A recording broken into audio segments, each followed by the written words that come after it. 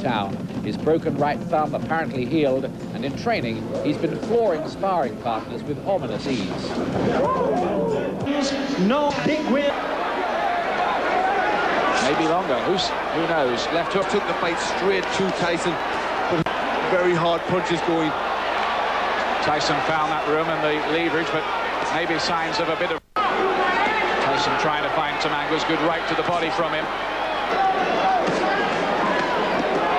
Good left hook from Mathis so far, and Tyson has lacked rhythm and timing, although he has... And lock it inside and use his left. Good. He hasn't figured to try and get off the ropes and use his jab, Tyson. Tyson moves into a higher gear, gets in with a couple of left hooks, made to miss here tonight. The one that's working with the free hands. Right.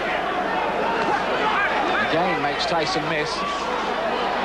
Rolling and then finding his own uppercut. Played long and hard and studied the tactics. Mathis is on top of him all the time. Oh, that's another good shot from Tyson, who's beginning to find the punches now like that one. Job for him.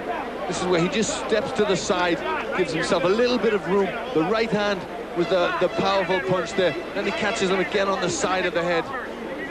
And then finishing off with a final one. But I think that the first two had done